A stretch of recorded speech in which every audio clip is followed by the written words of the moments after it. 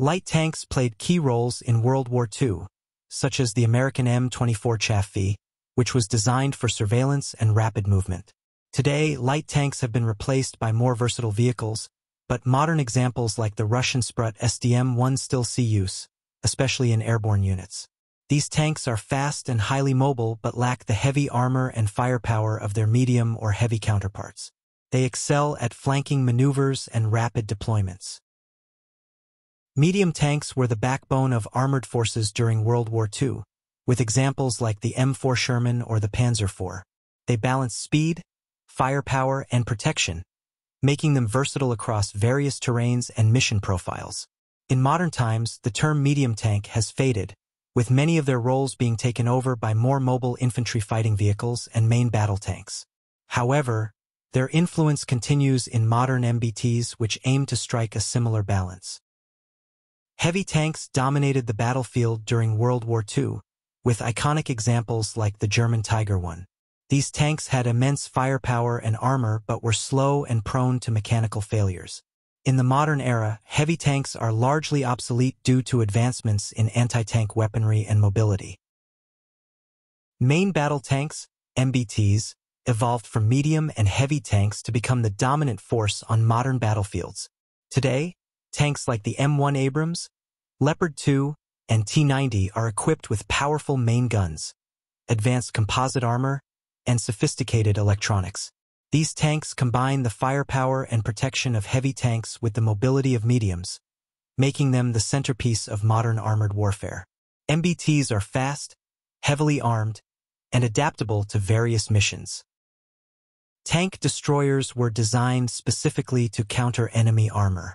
In World War II, vehicles like the German Jagdpanther and the American M18 Hellcat were highly effective due to their powerful guns.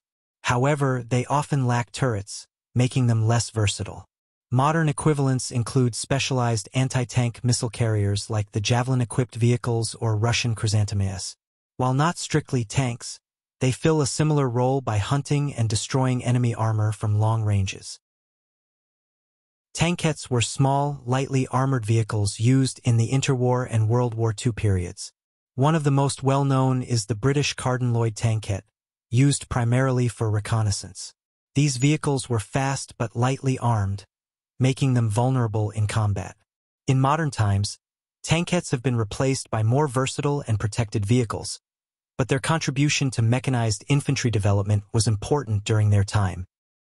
Super heavy tanks were experimental giants designed to break through heavily fortified lines. World War II saw prototypes like the German Maus, a 188-ton behemoth with impenetrable armor and a massive 128mm gun. While impressive, these tanks were too slow and difficult to maintain, making them impractical. In the modern age, super heavy tanks are not in use.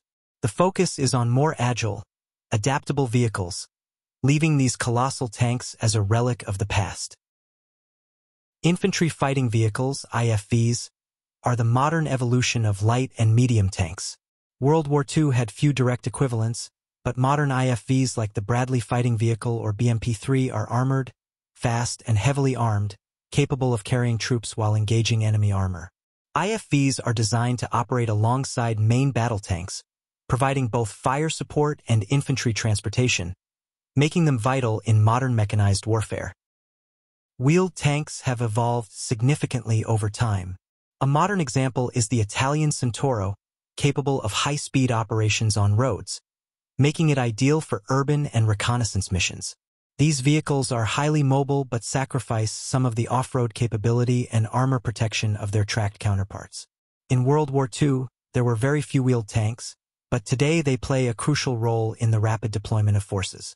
Their lightweight design makes them versatile in both peacekeeping and conventional military operations.